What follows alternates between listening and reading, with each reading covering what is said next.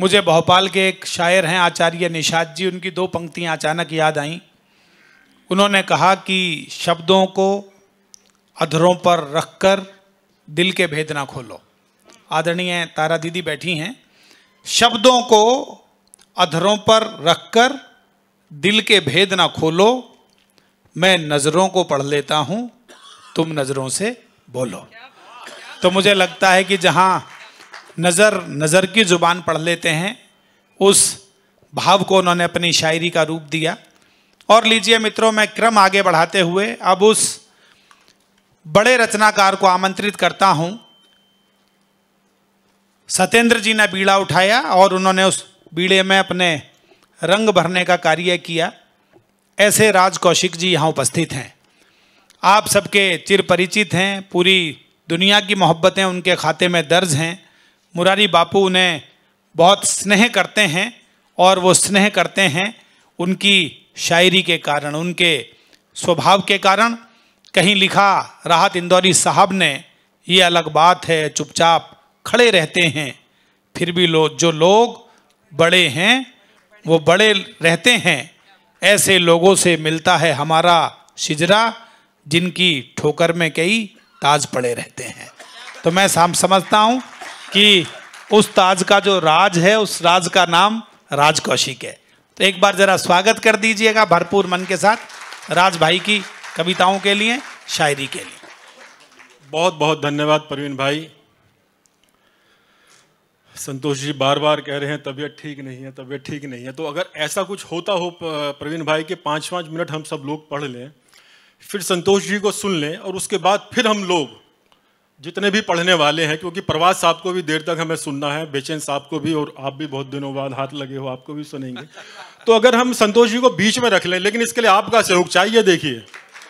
और मुझे आप पे भरोसा है क्योंकि उनकी तबीयत ठीक नहीं है बार बार कह रहे हैं तो ज़ाहिर है तो हम बस पाँच पाँच मिनट अब लेकर पाँच पाँच मिनट दूसरे राउंड में सुना देंगे। मैं सबसे पहले सत्येंद्र भाई आपका विशेष तौर पर आभारी हूँ कि आपने इतना बड़ा बीड़ा उठाया।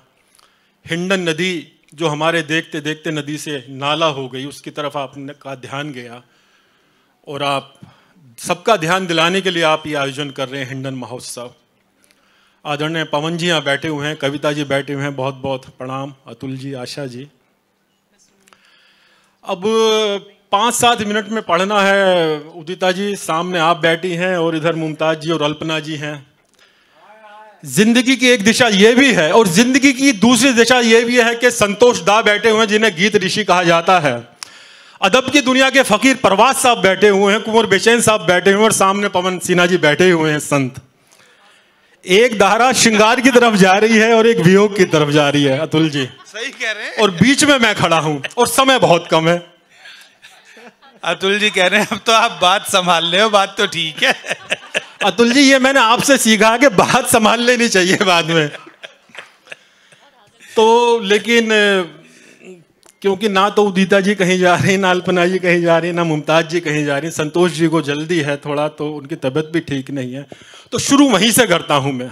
जी। संतोष दा की तस्वीर सामने है प्रवास साहब की सा, सामने बैठे ही हैं बेचैन साहब हैं कि ये खाली हाथ मेरे देख मत सोचो कि मांगूँगा। ये खाली हाथ मेरे देख। मत सोचो कि मांगूँगा। यूँ खाली हाथ है मेरे मैं सब कुछ बांट आया हूँ। वाह बहुत अच्छे। वाह वाह वाह वाह यूँ खाली हाथ है मेरे मैं सब कुछ बांट आया हूँ।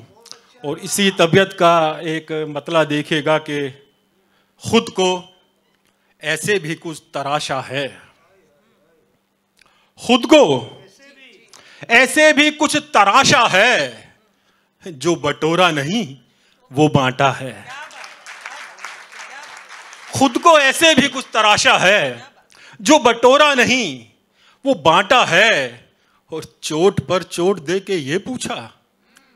चोट पर चोट दे के ये पूछा, दर्द पहले से कम के ज़्यादा है।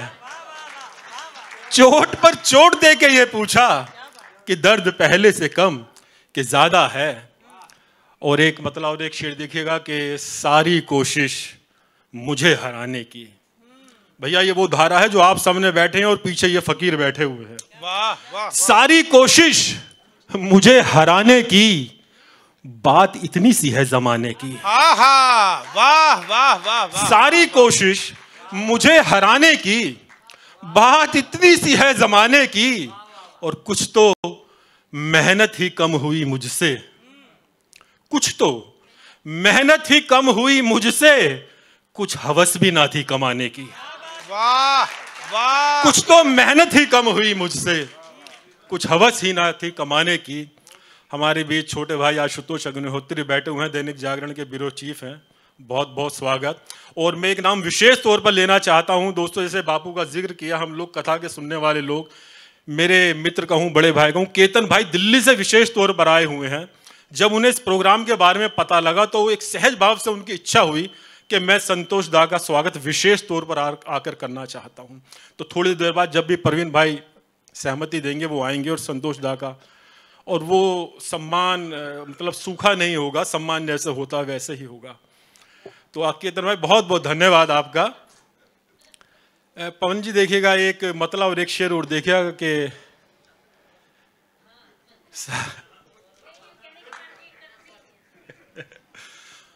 अतुल जी ये सब चीज़ आपके हाथ में आप इसे रूखा सूखा कर लो या गीला कर लो। एक मतलब मैं आपकी नज़र करता हूँ। एक कवि हृदय शायर आपको किस नज़रिए से देखता है? जी भाई साहब। उदित जी देखिएगा। आपके साथ जो गुजारी है आपके साथ जो गुजारी आपके साथ जो गुजारी है उतनी ही ज़िंदगी हमारी है। वाह वाह आपके साथ जो गुजारी है उतनी ही ज़िंदगी हमारी है और उनकी आँखों पे शेर लिख लिख कर। वाह। उनकी आँखों पे शेर लिख लिख कर हमने उनकी नज़र उतारी हा, उनकी आँखों पे शेर लिख लिख कर हमने उनकी नज़र उतारी है। और एक देखेगा कि नमी आँखों में होठों पर सदा मुस्कान होती है। गौरव भाई हाँ ठीक बन गया वीडियो। भानु भाई देखिएगा नमी आँखों में होठों पर सदा मुस्कान होती है जहाँ में इश्क वालों की यही पहचान यही होती पहचान है। होती है। नमी आँखों में होठों पर सदा मुस्कान होती है जहाँ में इश्क वालों की यही पहचान होती है और किसी भी पेड़ से मैंने कोई पत्ता नहीं तोड़ा। वाह वाह वाह किसी भी पेड़ से मैंने कोई पत्ता नहीं तोड़ा। कभी माँ ने कहा था ये कि इनमें जान होती है। किसी भी पेड़ से मैंने बहुत अच्छे। किसी भी पेड़ से मैंने कोई पत्ता नहीं तोड़ा। कभी माँ ने कहा था ये कि इनमें जान होती है। और एक मतलब और चंद्राचार देखेगा दोस्तों के कोई ऊँचा ठिकाना चाहता हूँ। उदिता जी कोई ऊँचा ठिकाना चाहता हूँ तुम्हारे दिल में आना चाहता हूँ। कोई ऊँचा ठिकाना चाहता हूँ तुम्हारे दिल में आना चाहता हूँ। हुसने मतलब देखिए कि मैं बंटवारा कराना चाहता हूँ। हाँ, ये बहुत अच्छा। मैं बंटवारा कराना चाहता हूँ तेरे हिस्से में आना चाहता हूँ। मैं बंटवारा कराना चाहता हूँ। तेरे हिस्से में आना चाहता हूँ। और सत्येंद्र जी तुम आने की खबर झूठी ही भेजो। तुम आने की खबर झूठी ही भेजो। मैं अपना घर सजाना चाहता हूँ। वाह तुम आने की खबर झूठी ही भेजो। मैं अपना घर सजाना चाहता हूँ। और दोस्तों एक शेर देखेगा कि ये बच्चों को दुआ दे दो पिताजी। बात बहुत साधारण सी है।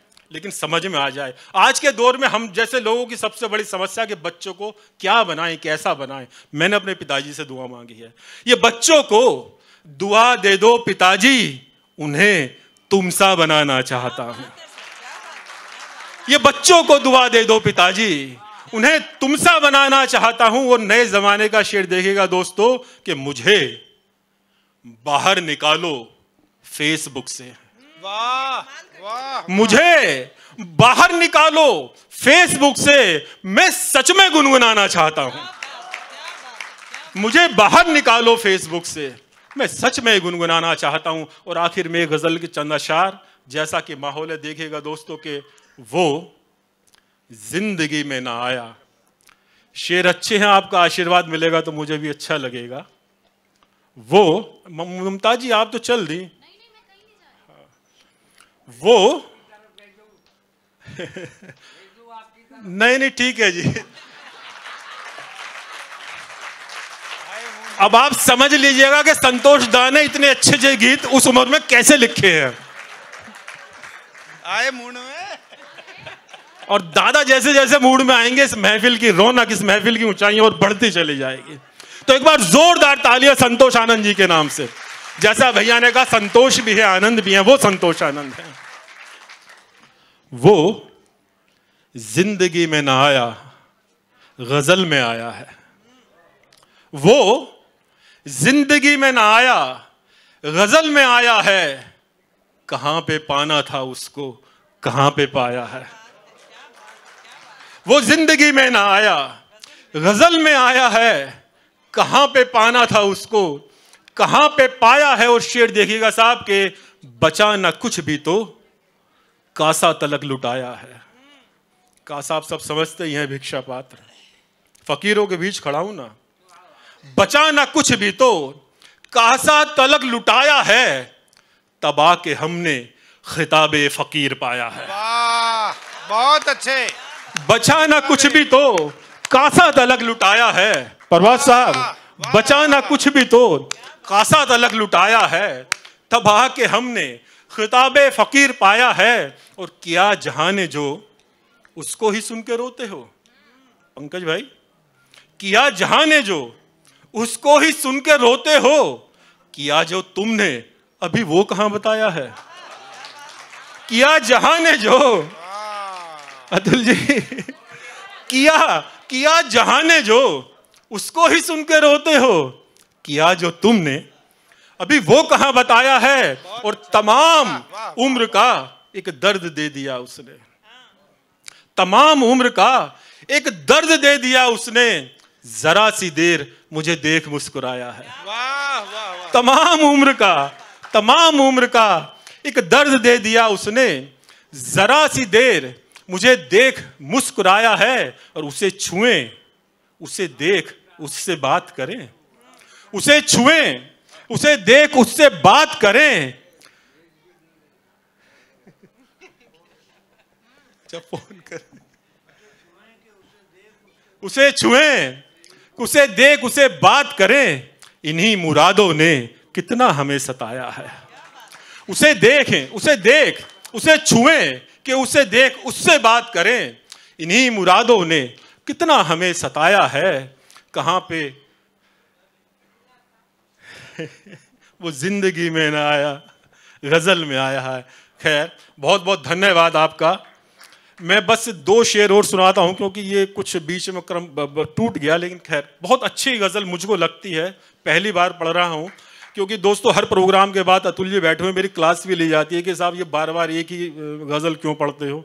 तो मैंने पिछले दो तीन प्रोग्राम से घुंघरू वाली पढ़नी बंद कर रखी है, भाभी जी, उसे नहीं पढ़ूँगा। बिल्कुल नहीं गज़ल के चार अशार देखेगा भैया। जी जी जी बिल्कुल बिल्कुल ठीक कह रहे हैं। देखिएगा साहब के उन्हें तो दिल मेरे फिर क्यों सफ़ाई देता है? उन्हें तू दिल मेरे फिर क्यों सफ़ाई देता है? जिन्हें सही भी गलत ही सुनाई देता है। उन्हें राजीव भाई उन्हें तू दिल मेरे फिर क्यों सफ़ाई देता है? जिन्हें सही भी गलत ही सुनाई देता है। और ये सच है। बात भी मैंने कही थी धीरे से। ये सच है। बात भी मैंने कही थी धीरे से, मगर तुम्हें भी तो ऊँचा सुनाई देता है। ये सच है। बात भी मैंने कही थी धीरे से, मगर तुम्हें भी तो ऊँचा सुनाई देता है। और जगह ये ठीक है। मैं आपकी भावना समझ रहा हूँ। जगह ये ठीक है मेरा मकान बनाने को। जगह ये ठीक है मेरा मकान बनाने को। यहाँ से उसका मकान भी दिखाई देता है। जगह ये ठीक है मेरा मकान बनाने को। धन्यवाद दादा। जगह ये ठीक है मेरा मकान बनाने को। यहाँ से उसका मकान भी दिखाई देता है। और मैं आने जाने के रास्ते भुला चुका कब के। मैं आने जाने के रास्ते भुला चुका कब के? कफस से मुझको तू अब क्यों रिहाई देता है? मैं आने जाने के रास्ते भुला चुका कब के? कफस से मुझको तू अब क्यों रिहाई देता है? और इधर तो रो के बुरा हाल जा रहे हैं हम। इधर तो रो के बुरा हाल जा रहे हैं हम। उधर है वो जो कि हंसकर विदाई देता है। बहुत बहुत धन्यवाद दोस्तों, शुक्रिया।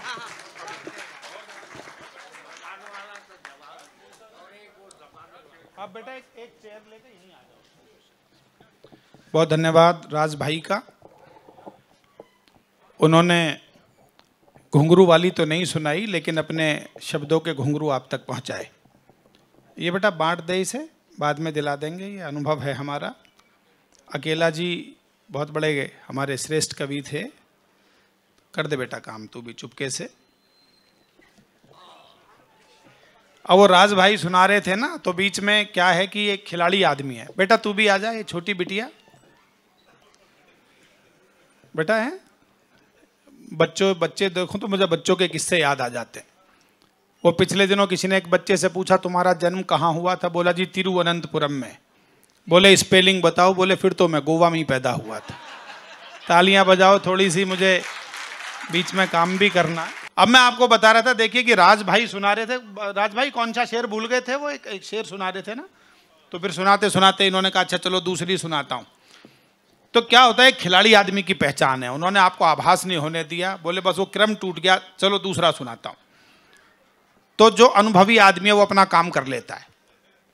ये मैं सच्ची घटना बता रहा हूँ, पवन जी, वो एक शायर उसने शेर सुनाना शुरू किया, और पहली पंक्ति तो उसे याद आ गई, अचानक दूसरी भूल गया। लेकिन जनता को नहीं पता लगने दिया उसने। उसने कहा कि ज़मीन से आसमान तक, आसमान से ज़मीन तक। अब ये तो याद आ गई, दूसरी याद नहीं आ रही। तो वो सोच रहा है दूसरी क्या है, और बोला, ज़मीन से आसमान तक, आसमान से ज़मीन तक। दोस्तों, पीछे वालों का भी ध्यान चाहूँगा कि ज़मीन से, आसमान तक। ज़मीन से, दोस्तों, सुन रहे ना आप? ज़मीन, अब वो रिकॉल कर रहा है।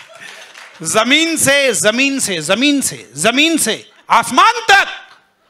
आसमान से, ज़मीन तक। तो सामने से एक श्रोता बोला, अरे, ये तो बता क्या है? कवि बोला, हवा ही हवा है। हवा ही हवा है। तो ये जो ज़मीन से आसमान तक और आसमान से ज़मीन तक की हवा है, ये आज सब आप उसका आनंद ले रहे हैं।